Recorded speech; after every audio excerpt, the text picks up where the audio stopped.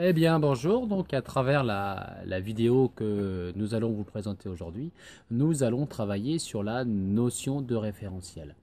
Donc, nous sommes toujours dans le travail autour de la mécanique, c'est-à-dire autour du mouvement des objets. Euh, nous avons déjà vu précédemment qu'à travers cette notion de mouvement, nous avions euh, différentes trajectoires que pouvait suivre l'objet et que cet objet donc se déplaçait suivant des, des vitesses qui pouvaient être différentes et s'exprimer également dans des unités différentes. Donc aujourd'hui, le référentiel, nous allons tâcher de donner une définition simple de ce que peut être le référentiel et nous verrons quelles sont les modifications que le choix du référentiel peut apporter sur le mouvement de l'objet. Voilà.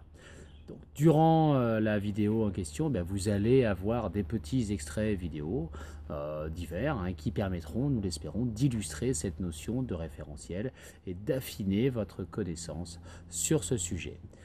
Euh, durant le visionnage de la vidéo, donc, nous vous conseillons fortement de prendre des notes en suivant donc la méthode vue en classe, à savoir la méthode Corbel.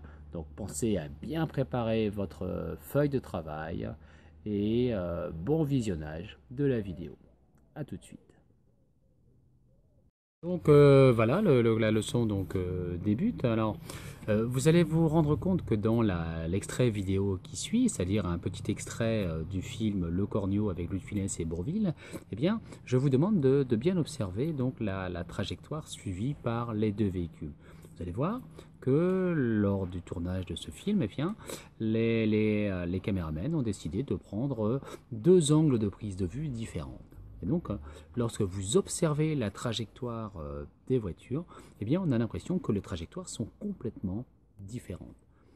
La trajectoire semble différente, tout simplement parce que l'angle de prise de vue est différent, c'est-à-dire l'observateur se situe à des positions différentes. Eh bien, le référentiel, ça va être ça.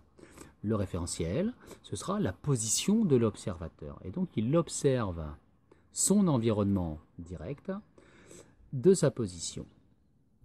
Le référentiel peut être choisi de façon complètement arbitraire. D'une manière générale, nous choisirons comme référentiel la Terre. C'est-à-dire, c'est ce que vous faites d'une manière générale sans vous en rendre compte, tellement c'est normal. Par contre, vous pouvez très bien décider de dire que le référentiel, c'est la voiture de vos parents qui est en mouvement. C'est le chien qui aboie et qui court dans le jardin. C'est la mouche qui vole dans la salle de classe. C'est le professeur. C'est vous. Le choix du référentiel est multiple. Par contre, eh bien, le choix d'un référentiel va, peut en tout cas, modifier certains paramètres du mouvement de, euh, l'objet qui se, qui se déplace. Dans le petit extrait euh, qui, va, qui va passer dessous, là, vous êtes assis dans un train. Sur la voie d'à côté se trouve un autre train au démarrage de la vidéo, il est difficile de savoir lequel de ces deux trains est en mouvement. Est-ce que c'est le vôtre qui se déplace vers la droite de l'écran ou est-ce que c'est le second train qui se déplace vers la gauche de l'écran? Et c'est seulement lorsque en arrière-plan on arrive à découvrir le paysage qu'on se rend compte qu'en fait c'est le train dans lequel nous nous trouvons qui se déplace vers la droite. L'autre train, le second, donc, euh, lui était tout simplement immobile. Donc le choix du référentiel va influer sur le mouvement de l'objet. Déjà, pour savoir ce que l'objet est-il en mouvement par rapport à ce référentiel, l'objet que nous souhaitons étudier est-il tout simplement immobile? Voilà, première chose. Enfin, les deux petits extraits qui vont suivre se situent au niveau d'un parc d'attractions où on observe de deux angles, souvent deux angles différents, donc on aura deux référentiels différents. On va observer le mouvement donc des, euh, des cabines du manège. Dans le premier cas, nous nous trouvons à l'extérieur du manège, nous sommes juste derrière la barrière de protection et nous observons donc le déplacement de ces cabines on se rend compte que les cabines, si on regarde, si on imagine qu'on a une vue dessus, on va voir une, une trajectoire qui sera globalement circulaire.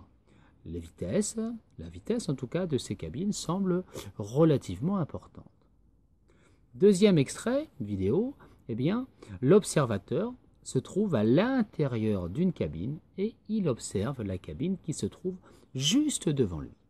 Eh bien, lors de cette observation, la cabine a uniquement un petit mouvement de balancier de droite à gauche à une vitesse qui semble très raisonnable, en tout cas très très bien plus faible que ce que nous avions pu observer dans l'extrait précédent.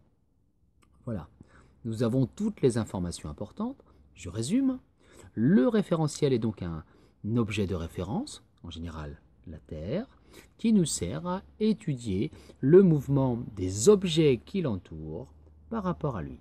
Par exemple, je vais étudier le mouvement de la voiture dans le référentiel Terre. Je vais étudier le déplacement d'un élève de la classe par rapport au bureau du professeur. Il y aura toujours ce par rapport à. Le choix du référentiel, nous l'avons dit, peut influer sur le mouvement de l'objet, à savoir, il peut modifier la trajectoire suivie par l'objet, ou bien il peut modifier la vitesse de l'objet. Et pourquoi pas les deux en même temps. Voilà. Nous avons toutes les, informations. Normalement, vous avez complété euh, votre feuille euh, de prise de notes, hein, donc en suivant la méthode que nous avons euh, conseillée. N'hésitez pas à remettre en arrière la vidéo, à la mettre sur pause si vous avez manqué des informations. Voilà. Eh bien, rendez-vous en classe et puis on se retrouve. On se retrouvera en tout cas pour une prochaine vidéo relativement rapidement.